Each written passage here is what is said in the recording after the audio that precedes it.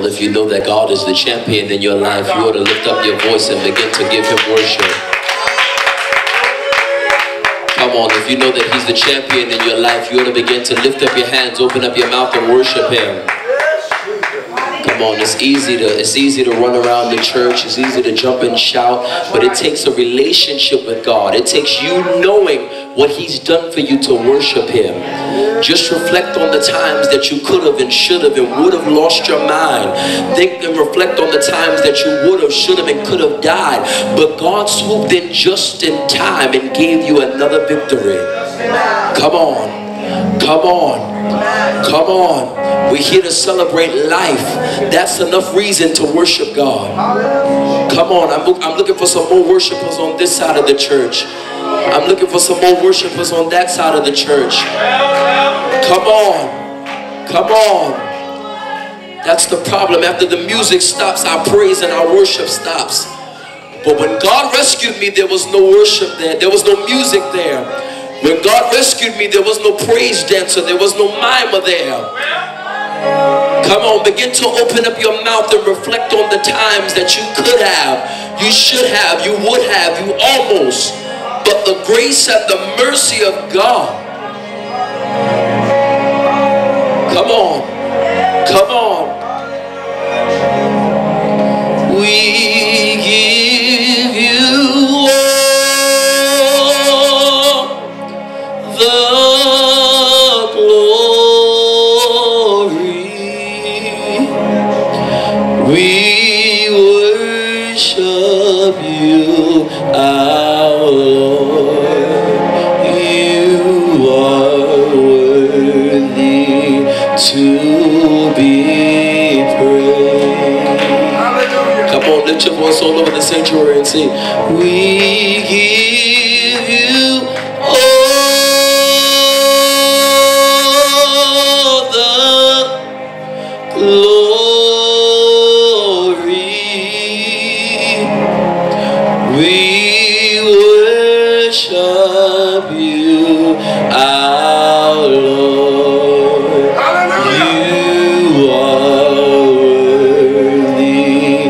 to be.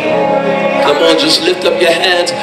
Open up your mouth and say, We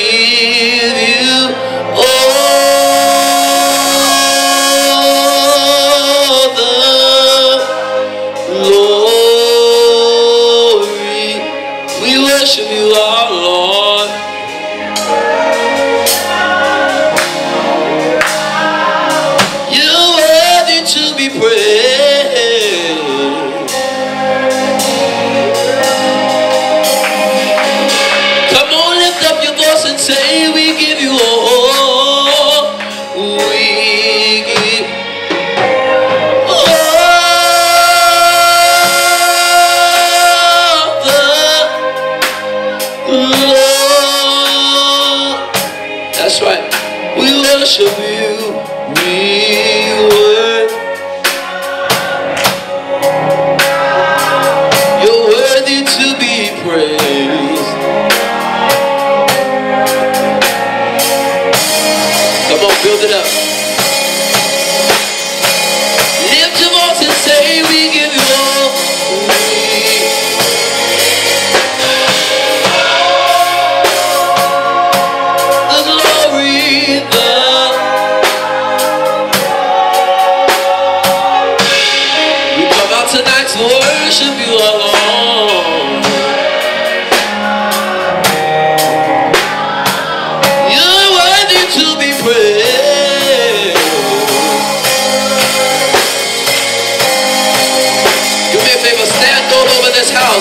And without the music, lift your voice and say, We give you all. We give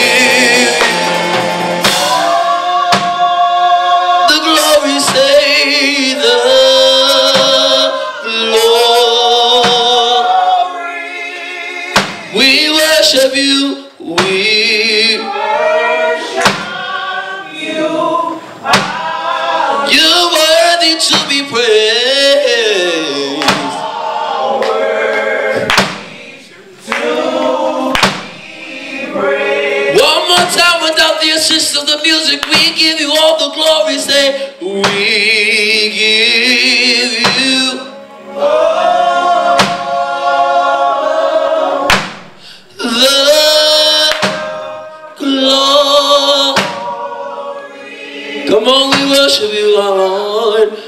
We worship you, our Lord. You are worthy to be. No drums, real soft. Just say we give you all the glory, Lord. We give no drums, you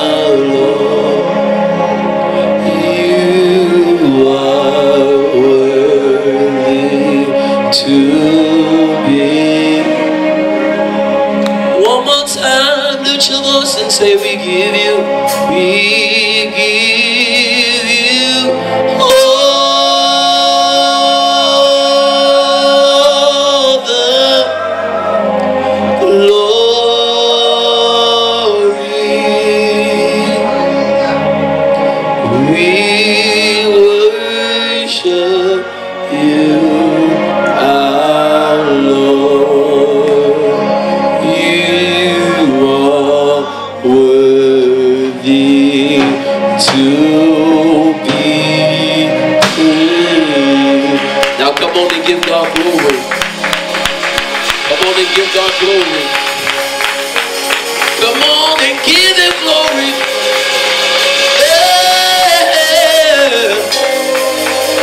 Come on and give him glory.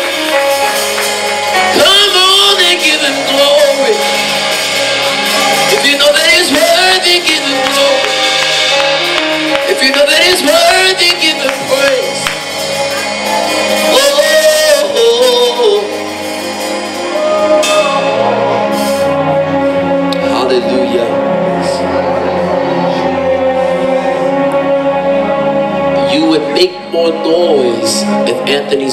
was stretched across the altar in a casket.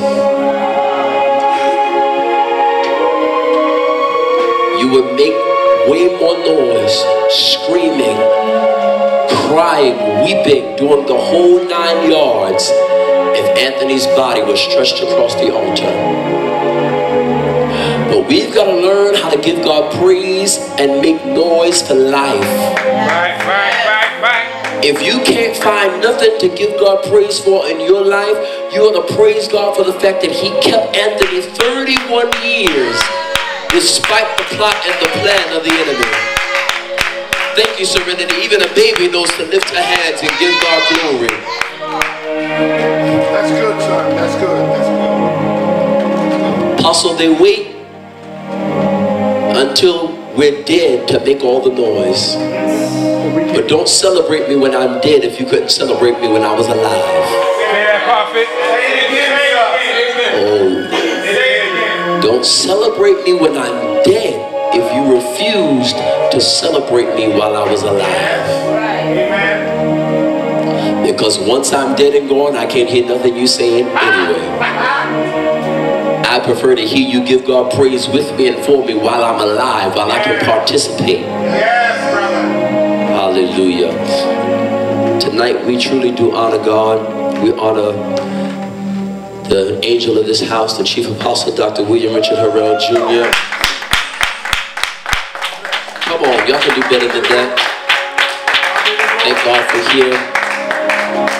Thank God for the fragrance of this house, our lady Dr. Joanne Harrell. Come on, y'all can do better than that. Clap your hands and give God praise for her. Many names to call, but it's already 10 o'clock. So to everybody in their respective places, God bless you, all the children of God. We thank God for you. To my lovely wife, God bless you. Appreciate you for being here. Now let's, everybody that's got feet, let's stand on our feet and honor this man of God that we're celebrating tonight, the honoree, none other than our minister, Anthony Xavier Sydnor.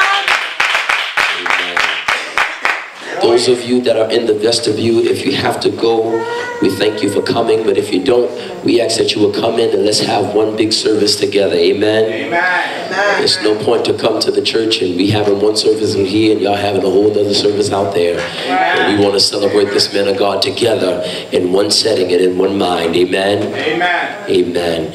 Grab your Bibles tonight. We're going swiftly to the word of the Lord. It's already 10 o'clock and it's not my intention nor my desire to hold you here long. I know people got church in the morning and black folk will get up and walk out no matter how good you're preaching. They'll get up and walk out when they're ready to get up and walk out. They'll get up and walk right out. They'll look in your face, I'm leaving, and walk right on out. So I don't want I don't want to feel like y'all walking out on me tonight. Praise the Lord. But let's grab our words, go swiftly to the book of Acts. I know that I am a prophet, but let me make a public service announcement tonight. If you came for a prophecy, this is the wrong service. I came to encourage the honoree, the man of God. Now, if the Lord leads me and speaks to me, uh, otherwise, then that's a different story. But you should never come to somebody else's party looking for something. Amen. You should never come for somebody else to somebody else's party, Amen. somebody else's service. I'm not I'm coming because I need a prophetic word. No. Problem is we've we've gotten addicted to prophecy. We've become prophecy junkies. So much and so that the word just don't do to us no more. But the strongest form of prophecy is the word of God. So if you didn't come for the word of God tonight, then I'm not, I don't know what else to give you because all I have to give you tonight is the word of God. Amen. Amen. We thank God for the honoree's wife tonight, our sister Precious Sydnor. Thank God for our little sister Serenity. Amen. Amen. Her, her birthday was on Sunday. Everybody's birthday just so close together. Apostle, I ain't, ain't nobody get a gift yet because I'm broke. Praise the Lord. I, I got I have a wonderful job, but I also have a wife, and you know, wives she she love a wig, a praise the Lord wig, and makeup and all that good stuff. So um, uh, by the time that check comes, it be gone. Praise the Lord. But um, we thank God for everybody's birthday just so close together. Praise the Lord. I just get so conflicted. Praise the Lord. But we thank God for her. We thank God for, Bible says that if you train up a child in the way that they should go, when they're old, they won't depart from their teaching. So we thank God that she's in the house of the Lord tonight. Amen. Amen. When you have the word Acts, we're going to the 27th chapter, very familiar passage of scripture. I'm going to ask that you would stand on your feet tonight. Uh, this is a very short passage of scripture. I'm not going to belabor your patience nor your time. Uh, my allergies are acting up. And to me, I sound like a 12-year-old child. So I'm not going to annoy you tonight with my sinusy voice. I'm going to do what thus saith the Lord, and I'm going to get out of your way. Because my sinusy voice is getting on my nerves, praise the Lord. So I know it's working on somebody else's nerves. Hallelujah. Hallelujah. Let me say this before I get into the word. I look like a telephone pole, as wide as you are, when you come on the block, we can't see none of the telephone poles. Praise the Lord. It's good when you